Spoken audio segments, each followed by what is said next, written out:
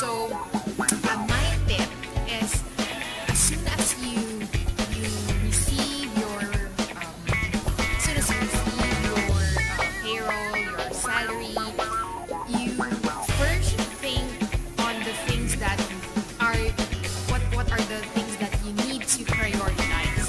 I mean, expenses are always been there, the bills are always coming, the school expenses, the transportation, the food, it's always there really no way for you to put the expenses out from your from your um, payroll or from your salary, right?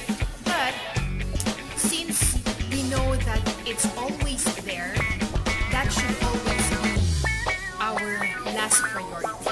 You know, it's kind of hard to you know to follow these rules, but I find it effective. As soon as you receive your first salary,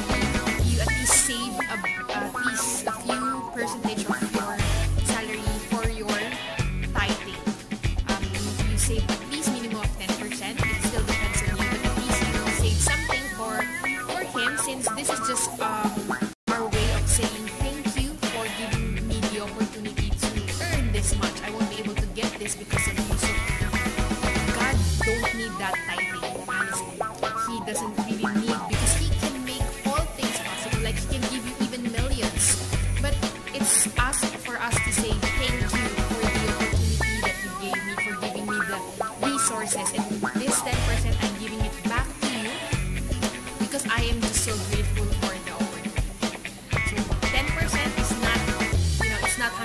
100,000 of your salary unless you're earning 1 million, right? So 10% is not really big.